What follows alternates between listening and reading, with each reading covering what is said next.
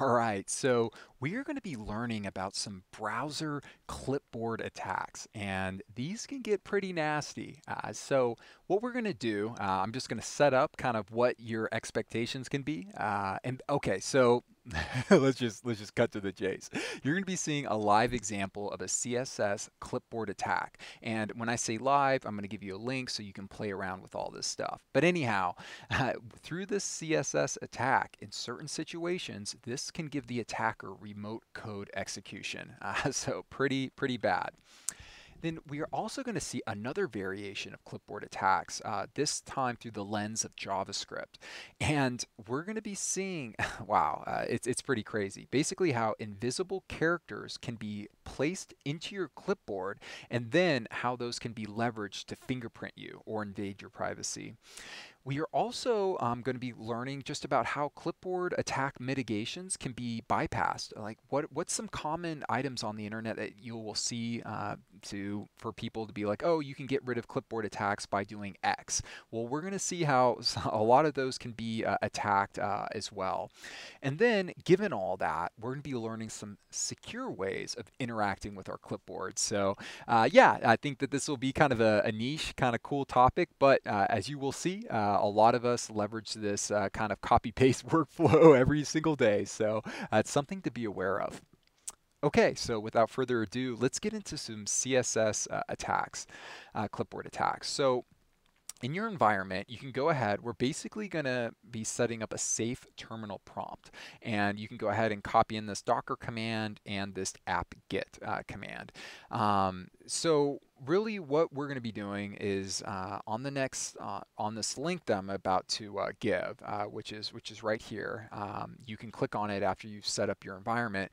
You will see um, a couple of um, git clone commands and usually people when they see these uh, will just copy and paste them right into their terminal. Uh, so when you see those you can just paste them uh, into the, the prompt that was generated here uh, just to be safe. I don't do anything malicious with these commands, but uh, I know whenever I see stuff, or if I was in your shoes, I would want kind of like a safe setup because uh, I'm like, hey, do I really trust this guy? so anyhow, I'm just kind of giving you that. So um, yeah, and, and basically what you want to do is when it, when you click on this link, you're going to want to paste versions 1 and version 2 into the terminal and see kind of, hey, what, um, what differences do you notice? Uh, and we'll, we'll see it uh, within the next slide uh, as well. So let's check this out. So here we are, we're right at the beginning. Uh, version 1 and version 2, they are just uh, some simple git clone commands. And let's start it up. So I'm going to go ahead and copy. Uh, I'm just doing a, a, copy behind the scenes and, a, and I'm going to do a paste right here. Okay, it it's, looks legit somewhat.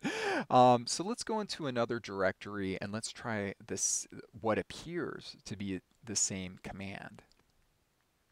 So I'm going to go back uh, to the Plunker site and go ahead and let's grab let's grab this. All right, just one second. Okay, so just copying it.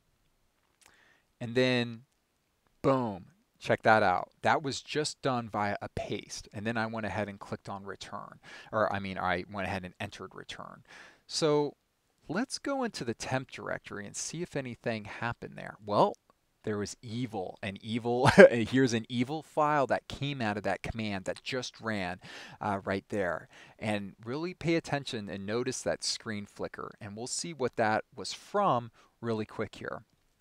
So I'm going to go ahead and open up the HTML and then we can see down here where I'm highlighting okay we, we see the git clone, but then we see um, some uh, some malicious uh, span tags, and you can see the styling. It places them off of it styles them off of the screen, but when you do a copy, uh, those that would still uh, be a part of the of the copy. So you see it, it does a git clone to dev null. So and then we terminate um, that basically that command, and then we do we did a clear.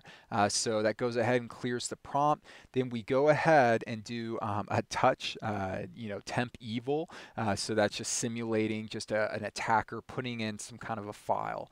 Um, so you could, uh, an attacker could curl something and bring something in and then execute it, etc. And then uh, I do uh, another clear at the end to kind of cover the tracks. so this, the, the, clear right here is more of the necessary necessary one. Uh, but uh, but anyhow, um, yeah. And then go, go, we just go ahead and just do um, we finish off that git clone, uh, the visible git clone with just the git address. So this is what only the person sees is git clone whatever.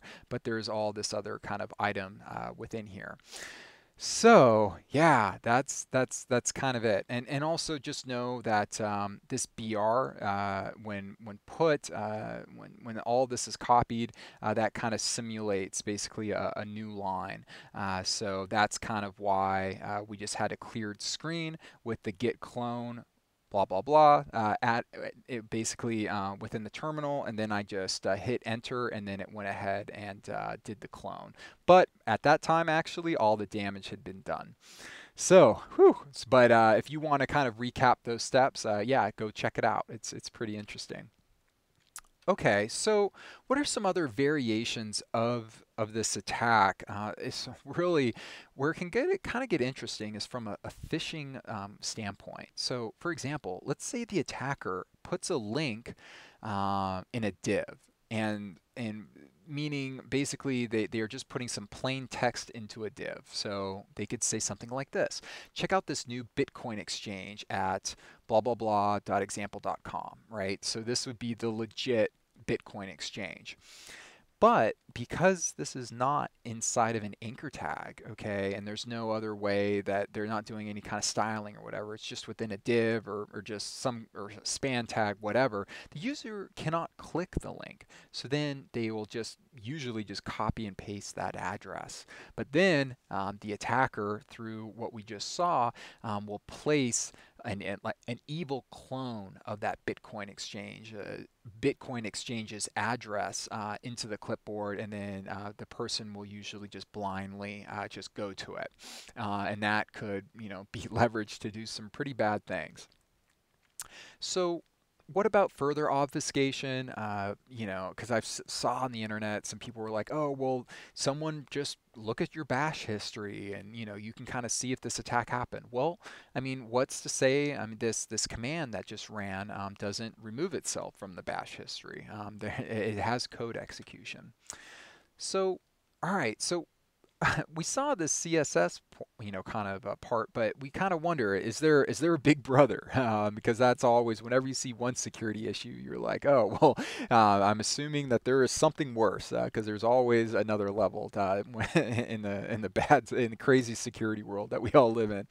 So that is really the big brother to this is really doing these attacks through through JavaScript, and we'll see some variations uh, basically right now. So how does JavaScript interact with the clipboard? Well, it's through the exec command function, and that is on the document, uh, so uh, object. So you can kind of go in uh, right there. And what are some commands? Uh, well, let me just take a step back. Um, this exec command function is basically leveraged uh, uh, across um, many browsers uh, for clipboard access. Um, we'll see that that's this exec command is being deprecated.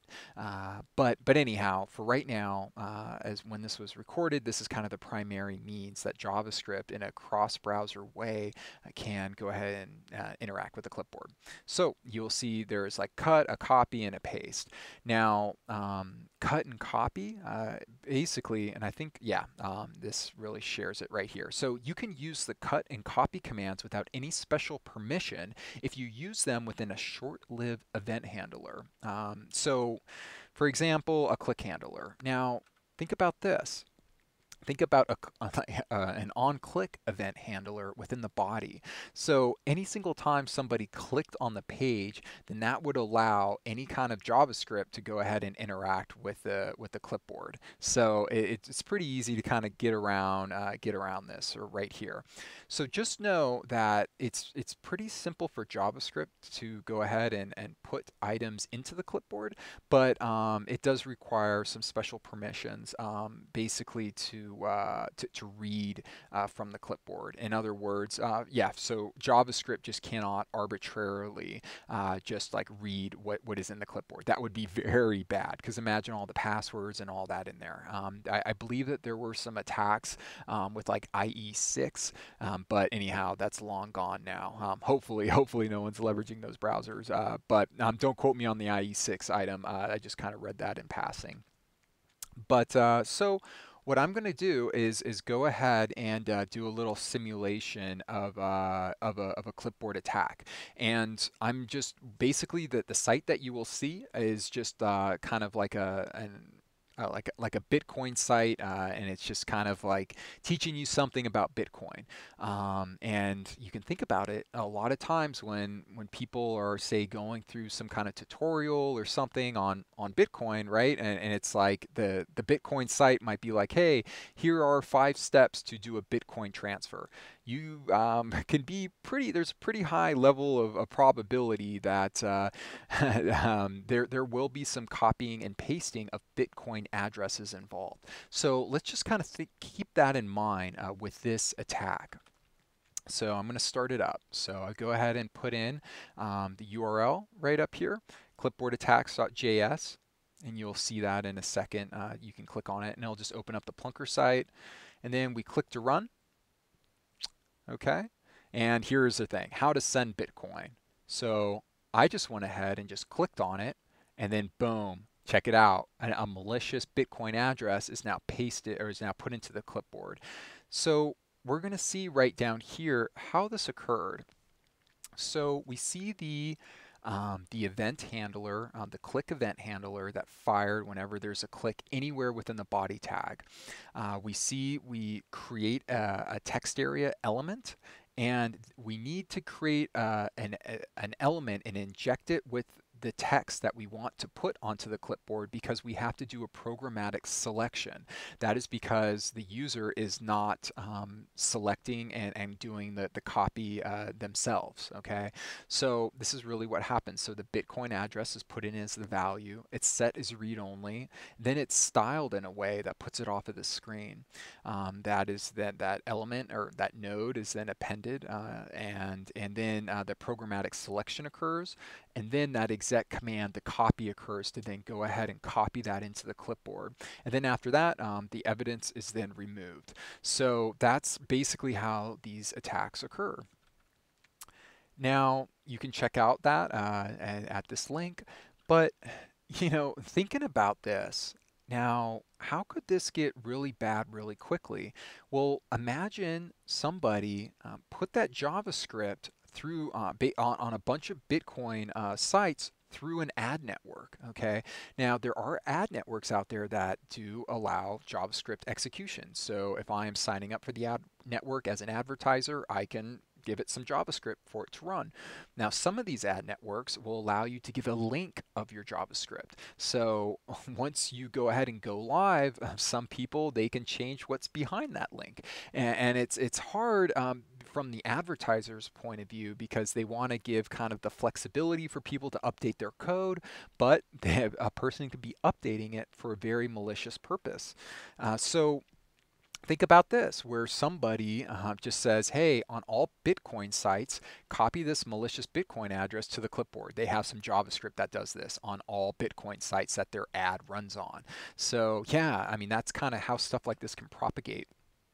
Uh, yeah, and we just we just kind of saw this, uh, or how to buy X cryptocurrency article, right? And just overwriting the clipboard to contain attacker-controlled Bitcoin address. So yeah, we basically just saw that.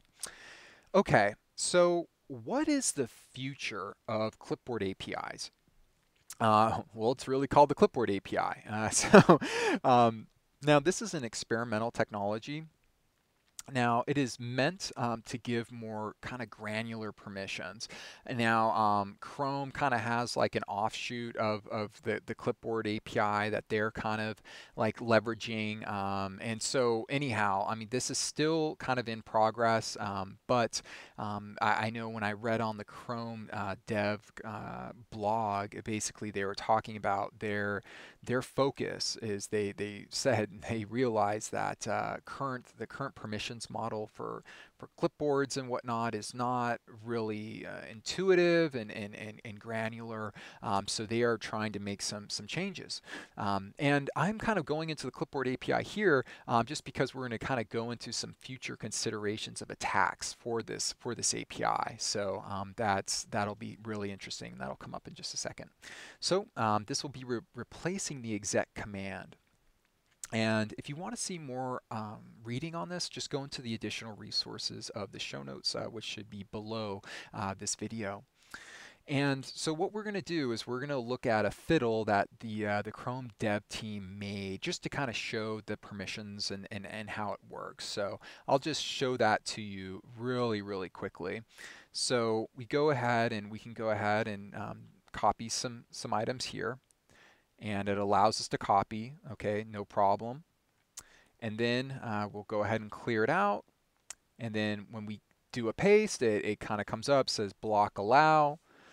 But uh, the nice thing about this is that now we have this, okay, clipboard read access allowed, and but we can specifically manage it uh, as, as we'll see. And, and, this is a great addition. Um, so we can, we can block certain sites, we can allow, and for the sites that we do allow, we can go ahead and block them. We can edit. We can remove. I mean, so I mean, it starts to get better. Uh, so that's kind of what they are, are looking forward to. Um, and this is just, yeah, it's all experimental right now. But um, some of the Chrome dev team, and also uh, uh, they they've brought this up, um, some future kind of clipboard attacks um, through these new APIs, and and yeah, let's let's kind of look at those. Uh, so uh, here's here's some interest. Here's one that I found really fascinating, uh, and that really comes from this question: What if JavaScript could easily copy an image to the clipboard? Just like a, a user, uh, just how we saw that malicious uh, JavaScript um, just copy that Bitcoin address just through a click event. What's if uh, the same thing could occur, but with an image? Okay, as these clipboard APIs get more robust, this might be functionality. Um, from my understanding right now, please uh, correct me if I'm wrong in, in the in the comments, but you cannot uh, just like arbitrarily like copy images and and whatnot.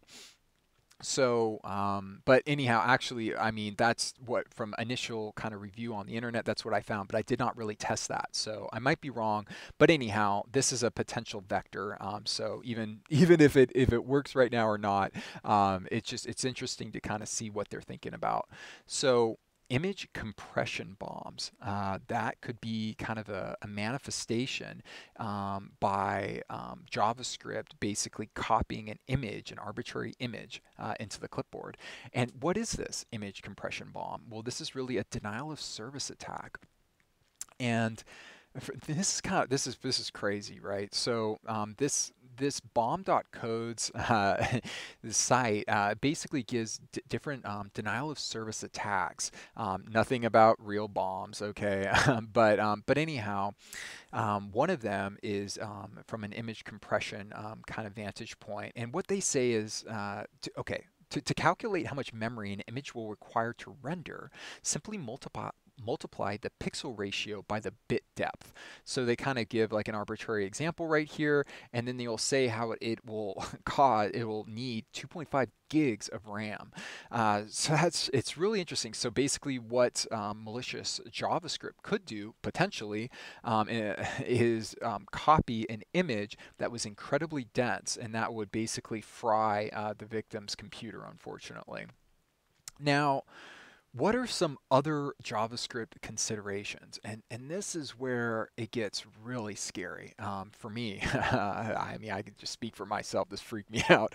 Um, is really um, the, the the clipboard fingerprinting, and I'm going to show you an example site, and you'll see the link in a little bit. Uh, and and basically, what I'll show is that, um, well, actually, let's just get to it. All right. So here we are. Um, so basically there's this site and you can just put in just like it says enter username. So just just know that this the uh, someone doesn't have to enter anything here. Um, this is more to um, to really to illustrate a point. Basically, this this step does not have to occur. Um, the JavaScript um, can query anything within the page and maybe in that page there is a username or some kind of other um, identifiable uh, thing that can, can basically tag uh, you as a person.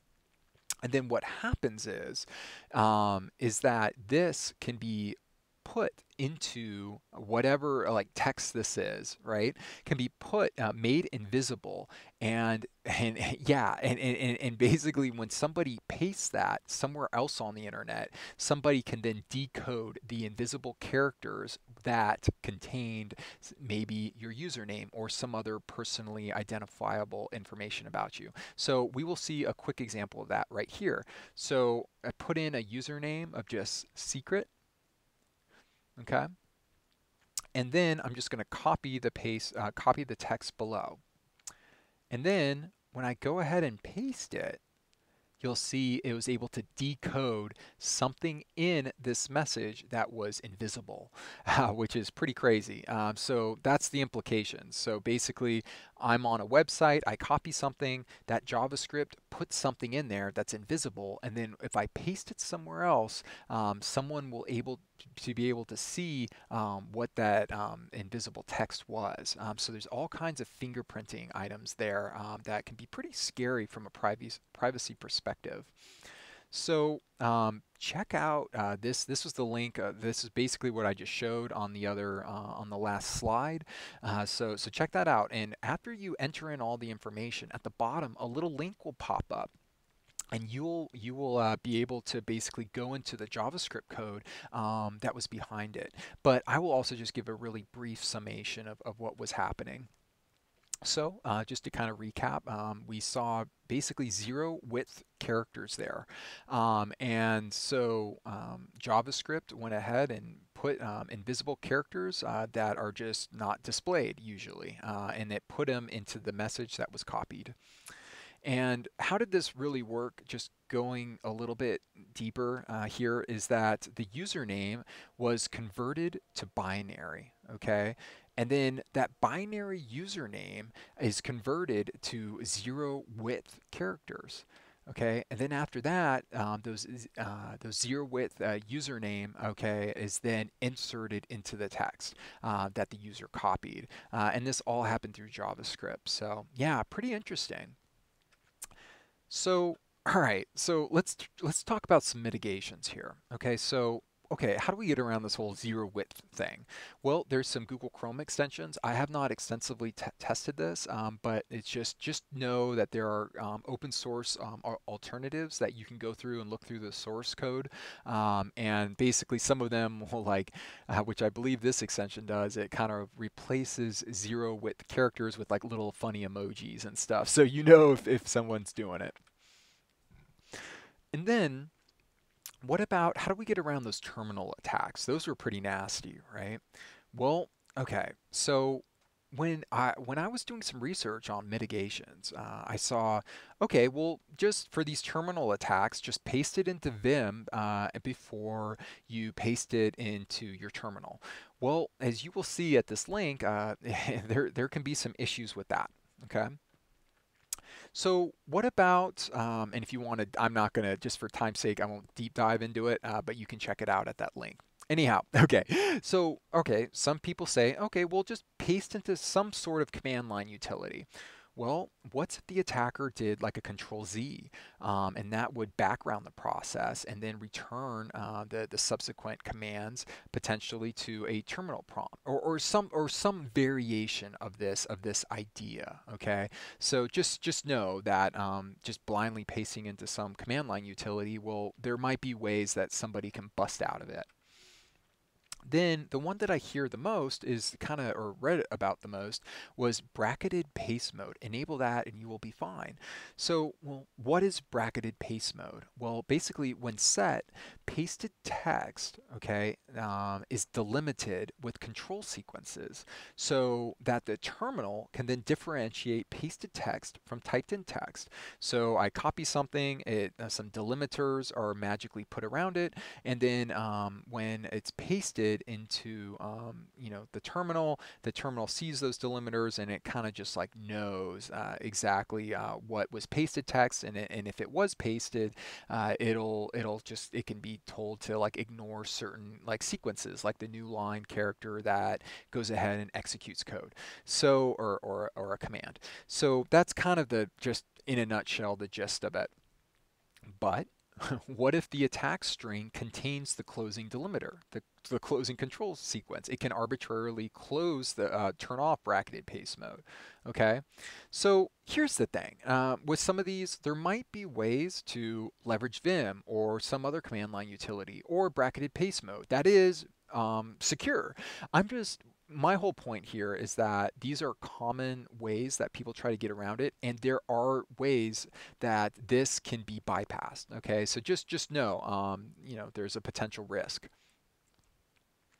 So to me what's the main takeaway um, just inspect the text outside of an execution context okay?